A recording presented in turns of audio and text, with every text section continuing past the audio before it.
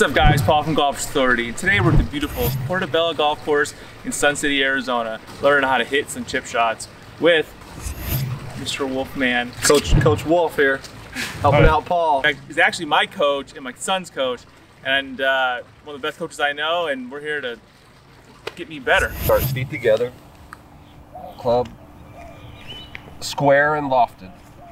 You're gonna de-loft the club slightly, still being square to the target, and you're gonna go stand over by the handle. This needs to be in the middle, and then that fixes ball position. And once you make your motion, you maintain that shaft angle. So it's gonna go. All right. The routine is the most important piece. Square and lofted at the landing spot, slight de-loft, and go stand to the handle. Standing to the handle will get you your ball position. If you de-loft it eight degrees, 10 degrees, it's too much. It's just a slight de-loft. If you want, it's just a, literally you're pushing the club forward about an inch or inch and a half or two. And then you go stand by the handle. Standing by the handle is something you're gonna hear me say a bunch.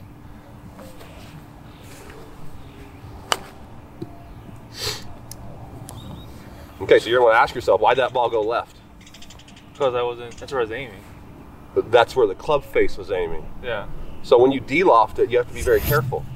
The de-loft is this way, not this way. You don't want to shut it and close it. When you're de-lofting the club, it's just slightly there. It still stays square. So be careful of shutting it. Oh, because it turned to the left. The club was The, the club face was aiming over there, so that's what caused it to go left. Yep, square and lofted. And so you'll, I'll give you a little visual here. There. And then if you de-loft it, it's just going to go to there. You don't want to do any of that. All right, so it still needs to stay square even though you're de-lofting it a little bit.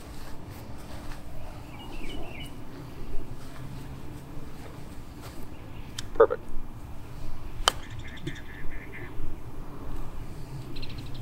It's good. It's good. It's better. The routine is where it's at. So square and lofted at your target, Square, locked. slight de-loft, and go stand over by the handle. There you go, and that gives you good ball position. Then maintain the shaft angle. Boom. As you're setting up, everything is square. This is pointing in the middle, your feet are right there. Everything's nice and square. And we're gonna de-loft the club slightly and then go stand over here by the handle. Let the handle go right into the middle. And then as we're making the motion, we're just maintaining the shaft angle. Maintaining the shaft angles. we want it to fly low. We do not want to lose the shaft angle in a short chip. Okay? Okay, do something with that.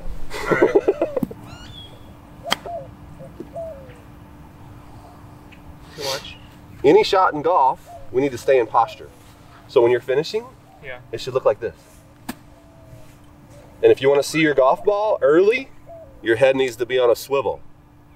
You can't do this to see your golf shots. So everything's looking good. Pre-swing, great. Square and lofted at the target. De-lofting slightly, stand next to the handle. Maintain the shaft angle, but make sure you stay in posture while you make your motion. You see how much straighter they fly. Even get a little more spin because you're striking the ball better. Perfect. Little de-loft. Perfect. And as you're making this motion, all your weight's going to stay on that left side. You can see how they're going a lot straighter because he's staying in posture. And because the club face is aiming down our target line. It's not going left.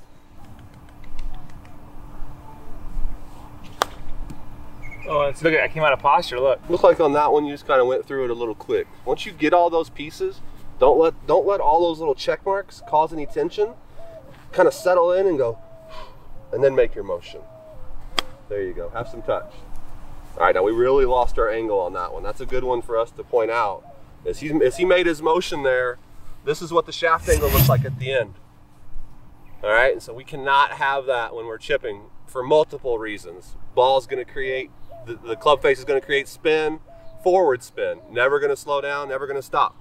So as we're making that motion, it's critical. Watch where my club finishes. It's still down my line, square almost. So that's going to cause great contact, and the ball's going to bounce softly on the greens. You're to get a lot of benefits out of that. Club face turns over like that. The ball's gonna jump forward, no spin, hard to control distance.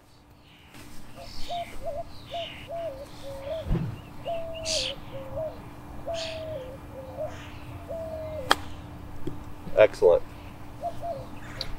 Make that good motion with maintaining our shaft angle. You can see he's maintaining his shaft angle a little bit better, so he's getting a lot softer bounces.